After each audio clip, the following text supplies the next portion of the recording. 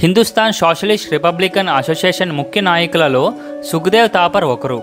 పురాతన భారతీయ సంస్కృతి ప్రాముఖ్యాన్ని ప్రపంచ విప్లవాల పరిణామాలను అధ్యయనం చేయడం కోసం లాహోర్ నేషనల్ కాలేజ్లో ఒక అధ్యయన కేంద్రాన్ని ఆయన స్థాపించారు.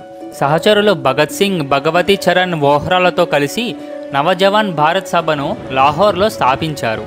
స్వాతంత్ర్యం సమానత్వాల స్ఫూర్తిని కలగజేయడం యువతను చైతన్యపరచడం నవజవాన్ సభ ఆశయాలు. సుఖదేవ్కు పండిత్ రాంప్రసాద్ బిస్మిల్ చంద్రశేఖర్ ఆజాద్ మార్గదర్శకులు. పంతొమ్మిది వందల ఇరవై తొమ్మిదిలో జైల్లో ఖైదీల పట్ల బ్రిటిష్ అధికారుల అమానుష ప్రవర్తనకు వ్యతిరేకంగా చేపట్టిన ఆమరణ నిరాహార దీక్షలో సుఖదేవ్ పాల్గొన్నారు.